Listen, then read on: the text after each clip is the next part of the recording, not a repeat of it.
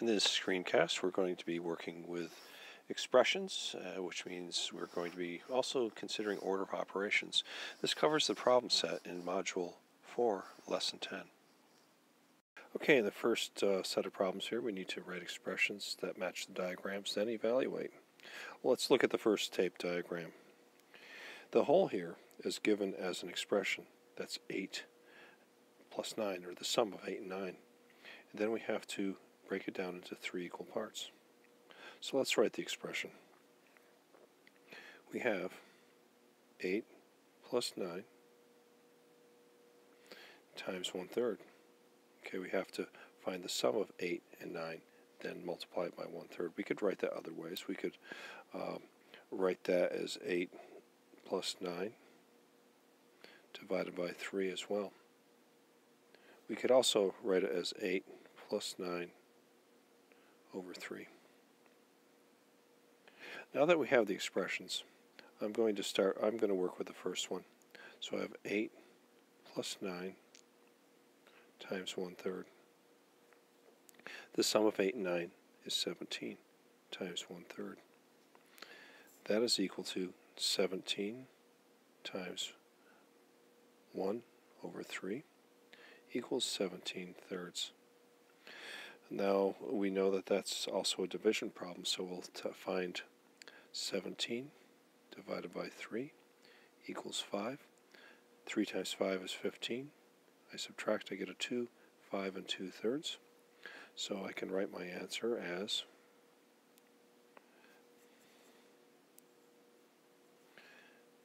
five and two thirds. Let's look at the second expression. We don't know the whole in this case, but we know the part.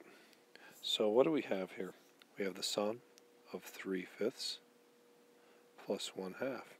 What do we have to do with that? Well, we need that uh, 3 times, so we need to multiply that by 3. So times 3. So we start by evaluating the expression in the parentheses. Our common denominator is 10. We 3 fifths is 6 tenths. 1 half is 5 tenths. We find the sum, and we have 11 tenths times 3 equals 11 times 3 over 10. And that equals 33 tenths which equals 3 and 3 tenths. Okay, I'm going to do several of these. These are the expressions, and we need to turn them, uh, the words into expressions rather, and then solve. So we have 1 sixth the sum of 16 and 20. Well, the sum of, of course, means to add, and we're going to have to do that first. So we have, we can have 1 sixth times 16 plus 20. Okay, even though I wrote 1 sixth before the, sixth, the sum of 16 and 20, the parentheses tells us that we work with the parentheses, the, the expression within the parentheses first. So I have 1 sixth times 36. And that equals 1 times 36 divided by 2. And we now have 36 halves, and that is 18. Subtract 5 from 1 third of 23. We need to pay close attention to order here because we're subtracting this time. And if we're subtracting 5 from something, this is our subtrahend. So this is our minuend, and we have to attend to order. So the minuend would be 1 third times 23, because 1 third of 23 equals 1 third times 23 minus 5. The minuend has to come first. So I have 23 thirds minus 5. I will change the improper fraction, 23 thirds, into a mixed number. So I get 7 and 2 thirds. I found that by dividing 23 by 3. All right, minus 5. All I have to do is subtract the whole from the whole, and we get 2 and 2 thirds. So 3 times as much as the sum of 3 fourths and 2 sixths. So we'll again write the expression, and 3 times tells us multiplication, the sum of 3 fourths and 2 sixths. Now I could have gone the other way around. I could have done the sum of 3 fourths and 2 sixths. I'd still have to have parentheses around them because order of operation tells us that we multiply before we add. So we want to make sure we add first. We need those parentheses. Let's simplify the expression in the parentheses. I'm going to pick a common denominator of 12. You could uh, do 24 as well, and many of you will. Oop. And I know that if I multiply 4, the denominator 4 times 3, I get 12. So the numerator, 3 times 3 is 9 twelfths. And we can now look at the 2 6. We'd multiply that times 4 or rather 2. 2 times 2 is 4. So we get the expression 9 halves plus 4, or 9 twelfths plus 4 twelfths. We know that that is 13 twelfths. 3 times 13 twelfths. It's 3 times 13 divided by 12. Now, I can see that 3 and 12 are both divisible by 3. So we'll take care of that and distribute it. And we get 13 fourths. Again, I could divide 13 by 4. And I'd get 3 and 1 fourth. On to the next. We have 2 fifths the product of 6, 5 six, and 42.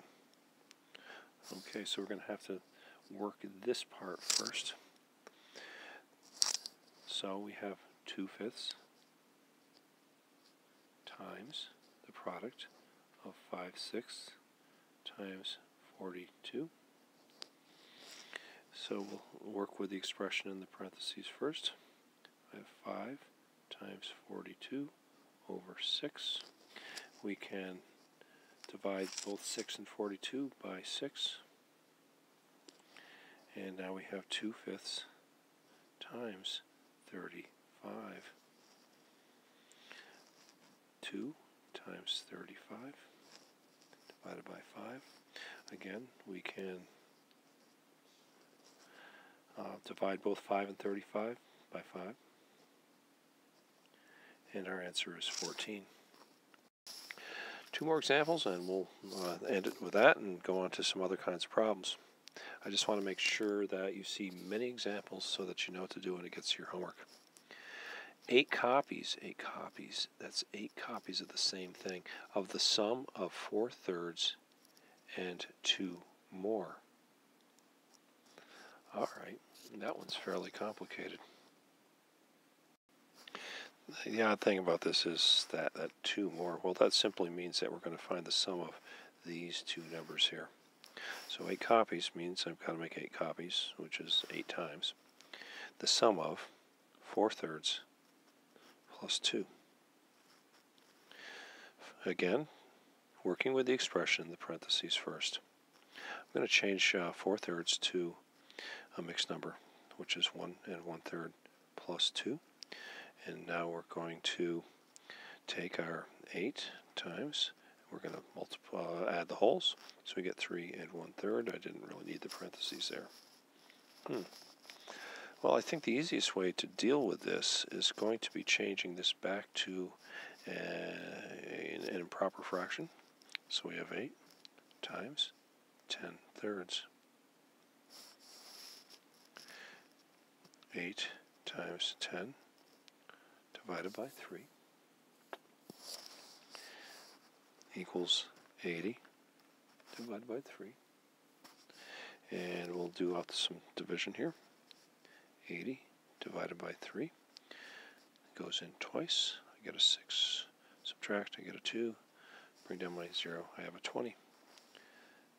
3 times 6 is 18, and I have 2 in my remainder. So the answer becomes 26 and 2 thirds. The last example. 4, ti four times as much as 1 third of 8. Alright, so again, 4 times 1 third times 8 and that gives us 4 times 8 thirds. We now have 4 times 8 divided by 3 equals 32 over 3. Do some division to change it to a mixed number, 32 divided by 3. We get 10 and 2 thirds.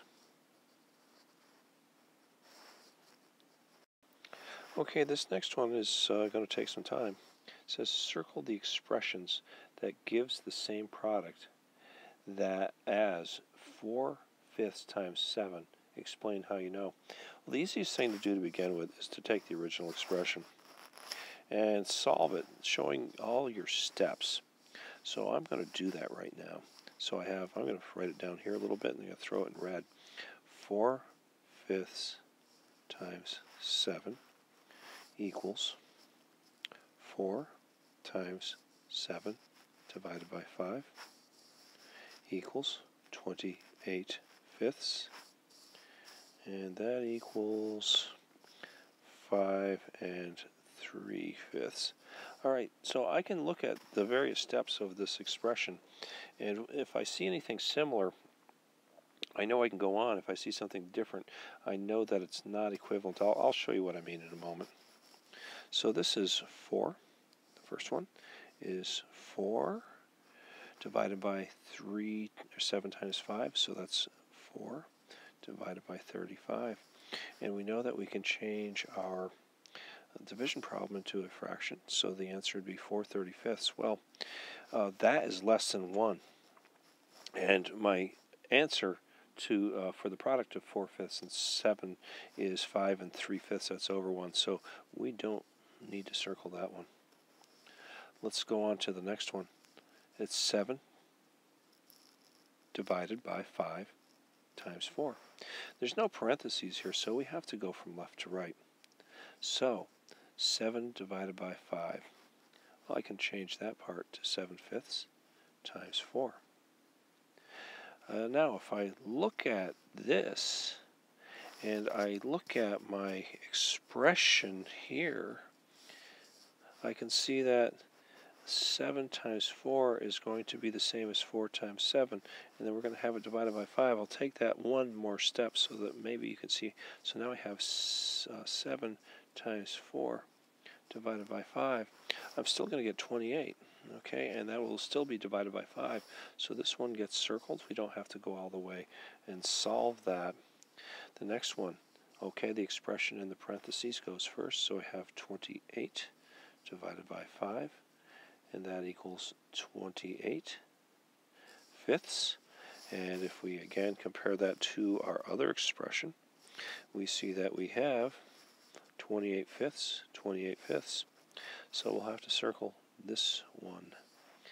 And I would accept these partially solved expressions as an adequate explanation as long as you can connect it to the original problem or one of the steps of the original problem. Your mileage may vary with your teacher. So here we have 4. We have the parentheses divided by 5 times 7 is 35, which equals to which equals 4 35ths. And again, like the first expression here,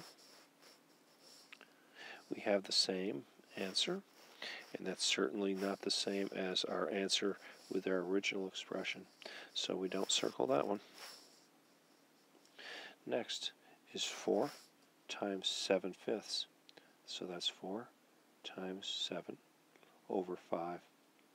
Well, going back to our first example that we did with our original expression, we can see that that is the same as step number 2.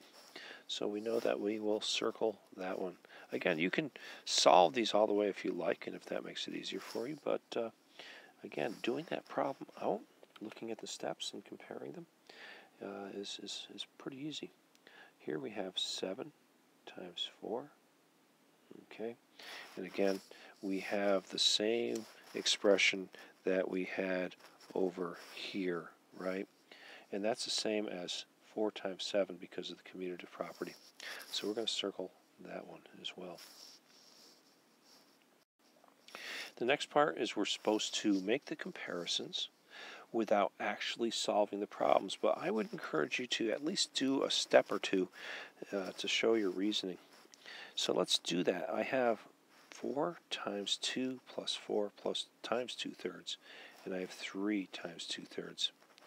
Well, we're going to have to go and start with the multiplication because we have the order of operation tells us to multiply first, and we go from left to right when we do that. So 4 times 2 is 8, plus 4 times 2 thirds.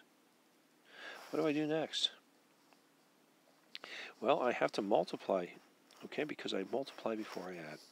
So I now have 8 plus 4 times 2 over 3, and that is 8 plus 8 thirds. Well, let's stop right there.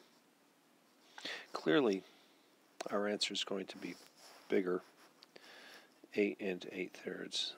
Okay, it's certainly going to be bigger than 6 times 2 over 3, and that equals 2 times 2 Okay, and again we get down to 2 times 2 over 1. We don't have to solve these all the way out. It's clear that this number is greater than that number. Do as many steps as you need to. If you end up solving it, well, so be it. But try to do the reasoning. Look at B. Notice when we look at these two expressions that these two uh, parts or two factors are identical. But these two factors are not identical. We know that 2 fifths is greater than 2 sevenths, so we know that 5 times the, the product of 5 times 3 fourths times 2 fifths is greater than the product of 5 times 3 fourths times 2 sevenths. That one was easy. We could show our reasoning by just saying that 2 fifths is greater than 2 sevenths. Okay, let's read this. I have 3 times the sum of 3 and 15 twelfths, and I have 3 times 3 plus 15 twelfths. This one's a little complicated, but uh, we, can, we can figure this one out. Uh, we have to solve for the expression in the parentheses first. So we have 3 times 3 and 15 twelfths. Here let's do a step. I have 9 and 15 twelfths. Now when I multiply 3 times 3 and 15 twelfths, I am multiplying uh, that 15 twelfths three times, so I'd multiply 3 times 3. Okay, if I use the distributive property, I'd be 3 times 3, excuse me,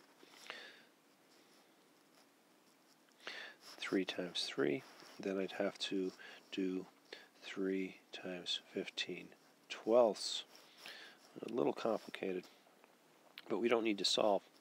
We know that 3 plus times 3 is 9.